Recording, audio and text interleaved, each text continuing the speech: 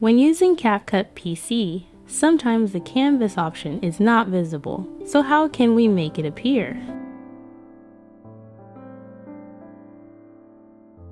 To start, make sure you place your media on the first track.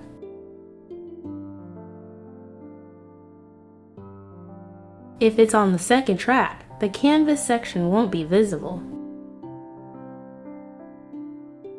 Canvas option is only available at layer 1.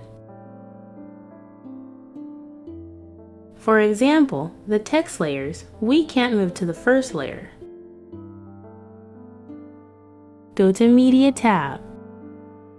Just bring a green screen from the library.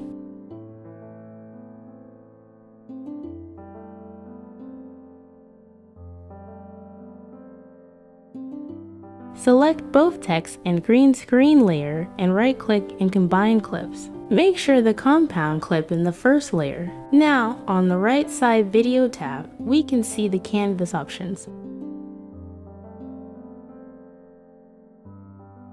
Then, go to video cutout, select chroma key. Use the color picker to select the green color.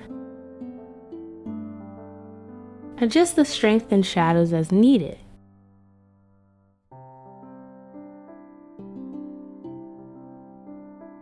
Then go to Video Basic, scroll down, find the canvas. If you want a blurry canvas, navigate to the blur section and choose the desired effect.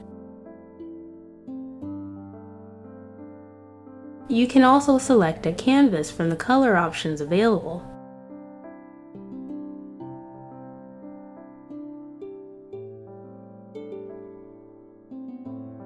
If you prefer a unique background, you can use style.